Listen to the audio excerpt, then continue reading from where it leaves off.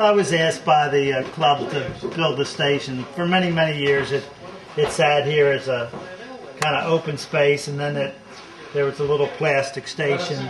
So basically, they asked me if I would build build the station, and I said yes. It took about nine months to build it, Nine and months. um, based on that, the first thing you have to do is. Um, get the plans.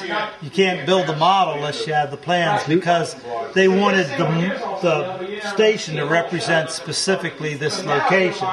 So there were a couple other members that had the plans. Totally scratch built, everything in it. There's uh, the windows are all put together, the doors, the, the stuff. I had the station judge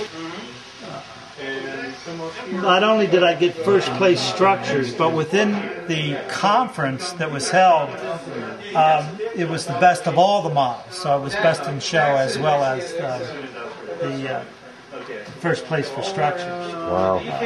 They dinged me for not having done the underside of the canopy with uh, the correct wood inlaid work in there. So I lost a few points for, for, for not they were looking. that. What they walk in underneath and. Well, and, no. What they do is they um, they have uh, dental mirrors, Is that right? so they can look on the underside with a dental mirror. Wow. And they wear uh, the white gloves and the flashlights. They have a very high powerful lights and dental mirrors, so they can look look underneath there.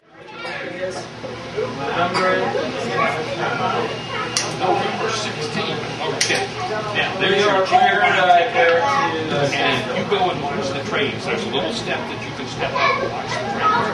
If you have any questions, you ask anybody who lives in Charlie, okay? Or come back and see me. Okay, go have fun. Thanks. Used to,